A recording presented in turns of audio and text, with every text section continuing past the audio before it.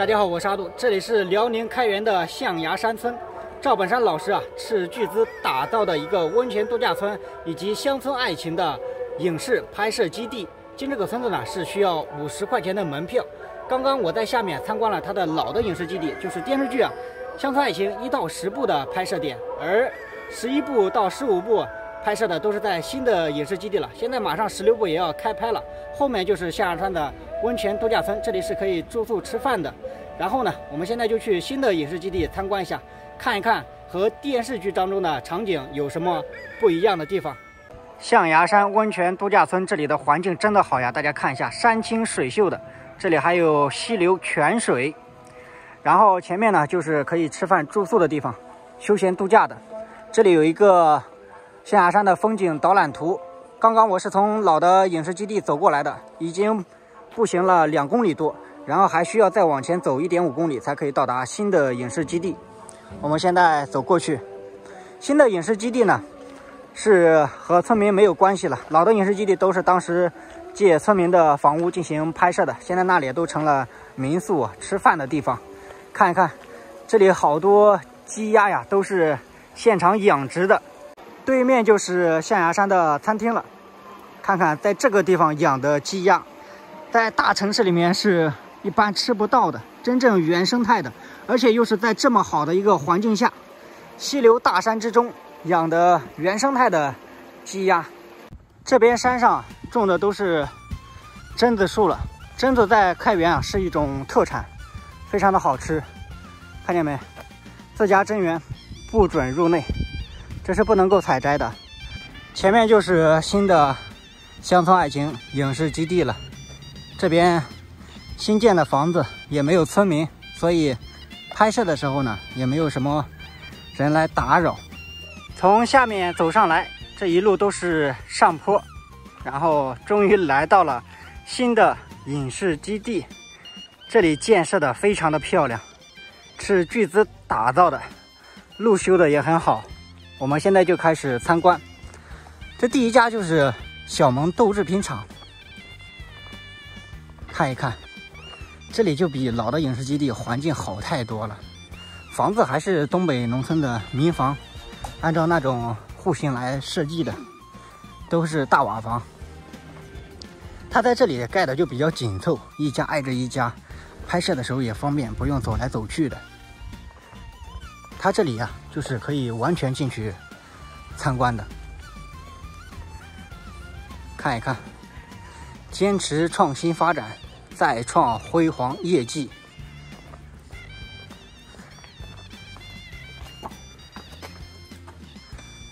这里面摆放的是磨盘，就是磨豆腐的，估计也不用，就是拍摄的时候用一下。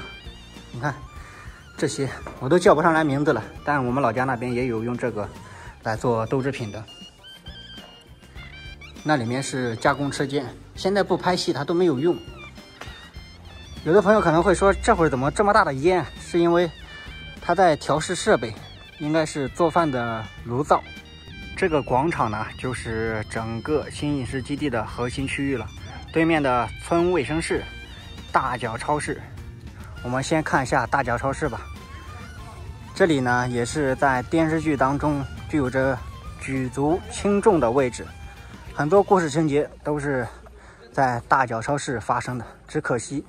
现在于若仙老师已经不在了，这里面应该和老影视基地一样，里面卖的都是一些工艺品。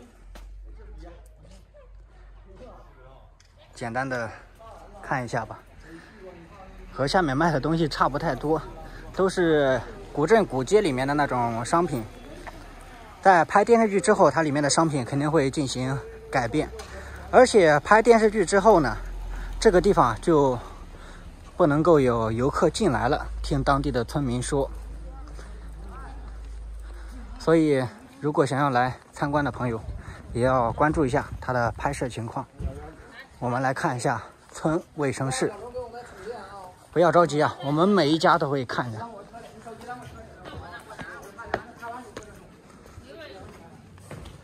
这里挂的还有锦旗，妙手回春，医德高尚。这是病床，打吊瓶的。这个场景大家熟悉吗？这里面是一个屋子，装修的都比较新，不过上面都已经发霉了，好像是有点漏水呀。新的影视基地，它的布局就非常的紧凑，一家挨着一家，然后拍摄的时候也不必那么的麻烦。看一看这个村委会能进去参观吗？哦，关门了，不能够进去，那这一家就参观不了。前面呢还有一个象牙山的文化活动中心，这在老的影视基地啊它是没有的设施。然后还多了一个木生研究所，王木生之前是由范伟老师饰演的，我非常喜欢范伟老师饰演的王木生，后来是由天娃饰演的，很多网友就说天娃饰演的就不如范伟老师演的好，毕竟范伟老师是资深的老艺术家了，他也是赵本山老师的黄金搭档，是曾经嘛，因为。最近很多年都没怎么再合作了。这是东北的大炕，上面还搞了席梦思，拍戏的时候要遮挡一下。木生研究所，可惜范伟老师只参演了前两部吧，后面就没有再出演了。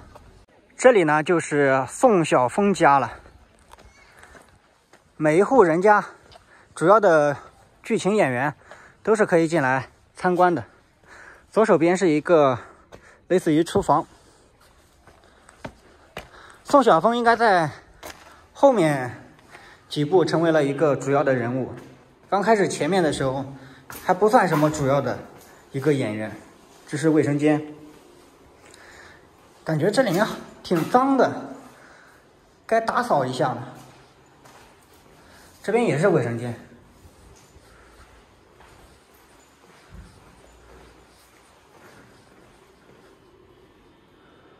哦，这里面是有人住的，就不进去看了。这边也是大炕，家里面的布局都差不多。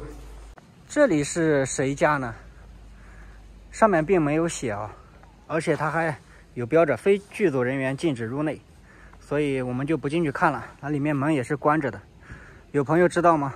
看过电视剧的，还是？它是属于一个办公区域呢。这是谢大脚家，大脚超市，两边是玉米地，也可以做成菜园。之前种的是玉米啊，能够看到砍伐的秸秆。我说刚才在烧什么呢？原来就是把院子打扫一下，把这些杂草给烧掉。然后我们看一下。谢大脚家里面，这是客厅，开放的区域都是可以参观的。这是一间卧室，旁边的柜子放一些被子啊什么的，然后炕上还可以吃饭，下面就比较热嘛。这里还有暖气，东北农村的一个标配。梳妆台，不知道后面再拍《乡村爱情》，谢大脚由谁来主演呢？这间屋子布局是一样的，都是电视剧里面出现的场景。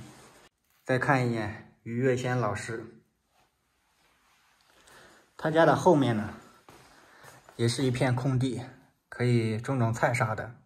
新影视基地这边的环境打造的是真好，让人焕然一新。对面还有一栋房子，从这里下去就是赵四家了。尼古拉斯四哥赵四，在电视剧当中也是一名狠人呐，动不动就跳舞开战，但他好像基本上没有打过谁。也赢过几场战斗吧，跟刘能有的时候跟谢广坤也要干一干。江南水乡，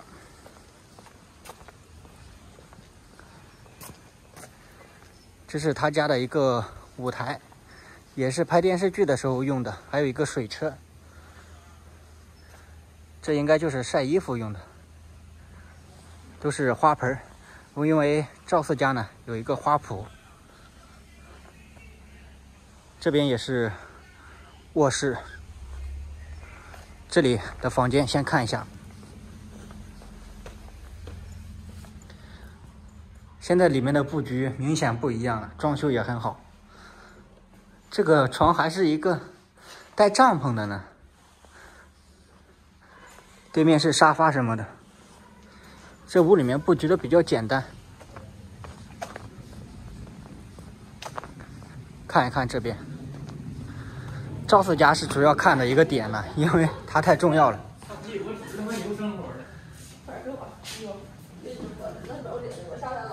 赵四的儿子、儿媳妇和他的孙子，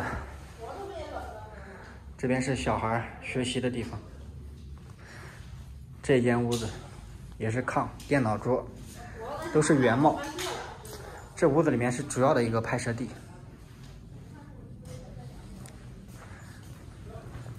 勤俭持家，这是赵四的名言。生活过得比较抠嘛。这间屋子应该就是赵四和他老婆居住的。这屋里面做的还挺像样子的。后面是厨房，这有一个冰箱，这冰箱好像是真的，坛坛罐罐的，煤气灶啥的，估计开拍之后这里都要打扫一下，不然的话太脏了。这几天也就要开拍《乡村爱情》第十六部了，哇！一眨眼都拍到第十六部了。这一家呢是在赵四家的前面，但它并没有标注是谁的。现在里面有工作人员正在维修，为新的剧情准备。然后这里呢就是流莺花圃了。流莺花圃在电视剧当中也是经常。也是经常出现的一个镜头，但它并不在赵四家的旁边，中间隔了一户人家。在电视剧里面看，这个花圃挺大的，但来到现场，感觉比较小啊。应该还有人刚刚浇过水呢，看一眼吧。这应该不是浇的水，是山上流下来的泉水，里面都是假花。有没有朋友喜欢剧中的徐会计表演的？他在剧中饰演的还是蛮有意思的，也挺搞笑。在剧中，刘大脑袋呢也是比较重要的一位人物。这里就是他家了，我们看一看是什么样的。刘大脑袋是山庄的负责人。我看的是哪一部啊？宋晓峰当时在山庄里面当保安。非常的搞笑，尤其是和赵本山对话的时候，刘大脑袋也是王大拿的左膀右臂啊，王大拿挺信任他的。但最开始头一部的时候，还头两部啊，由范伟老师演的王木生是比较反感他的。这是客厅，这间屋子进不去，这里就是整个布局。刘大脑袋和汪云，在剧中呢，有一位人物是非常受到争议的，那就是谢广坤了。今天我们就来参观谢广坤家广坤山货收购点，因为有一些朋友看了谢广坤的表演，就有一些反感，可能也不是反感出演谢广坤的演员。广坤叔演的还是非常不错的，非常的生动，演技也很好。但由于剧情的设计吧，可能让他出演的角色有一点让人不开心。每一个电视剧都有这样的情节。他家啊院子非常的大，可以说在整个影视基地啊是最大的一户了，房间也多，非常的开阔。这边也是四周大山环抱之中。李文才家，他家感觉更大更气派一点，房子造型也有一定的区别。这上面有四五间，下面也是四五间的房子，然后有一个很大的院子和菜地。他家里面就有人打理，你看种的辣椒、大葱、茄子什么的，长得都不错。里面还有人在收拾东西。